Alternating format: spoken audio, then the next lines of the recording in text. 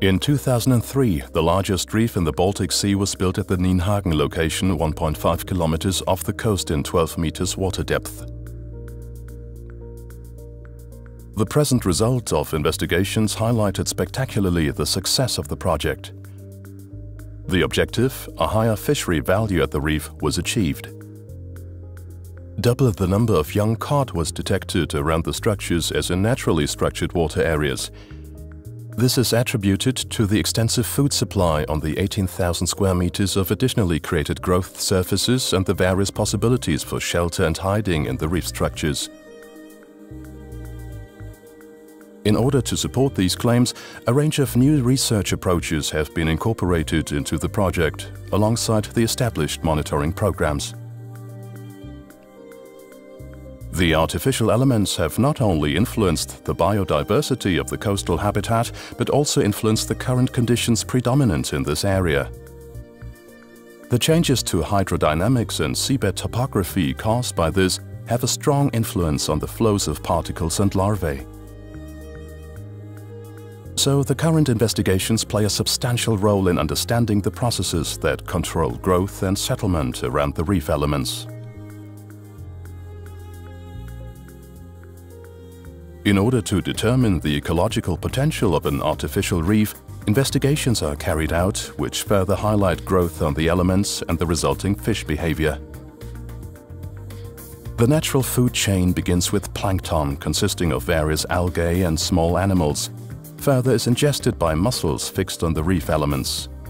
Excretions from the mussels are then again consumed by thousands of small crustaceans, bristleworms and gobies.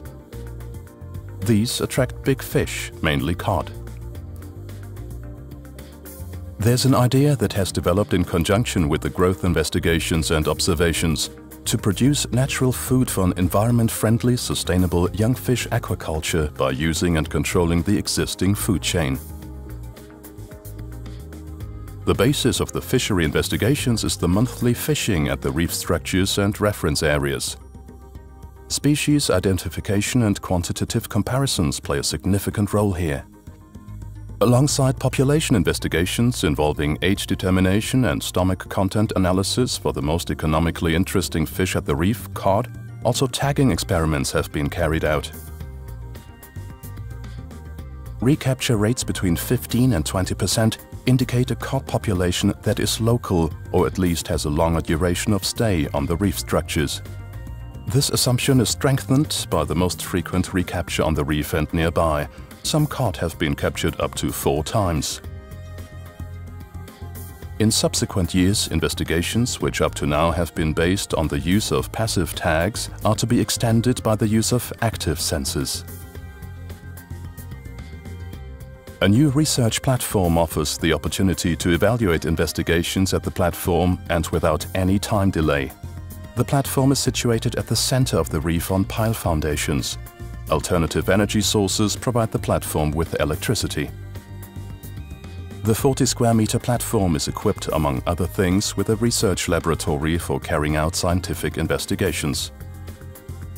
Underwater camera pictures are transferred via cable to the research laboratory and saved or processed there. The signal is sent via radio from the platform to Warnemünde, where it is then uploaded to the internet and can be watched live on the website www.riff-nienhagen.de. On the 5th of November 2009, a second reef was installed 2 kilometers off the coast of Rosenort in water depths of 6 meters. This is with 30 by 40 meters, 86 concrete elements and 160 tons of natural stone significantly smaller than the Nienhagen reef.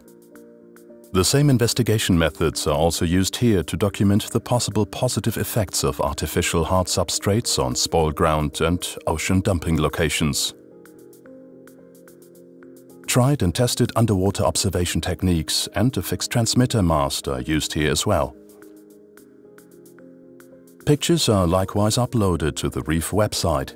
Alongside live pictures, all current work, information and reports of the working groups are presented here. The aim is to bring the scientifically valuable findings to public attention.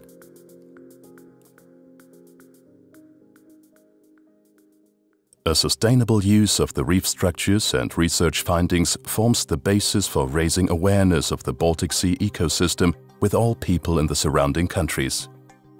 The linking of science, education, the economy and tourism in harmony with nature is of the highest importance for the state of Mecklenburg-Vorpommern. This is our vision of sustainable use.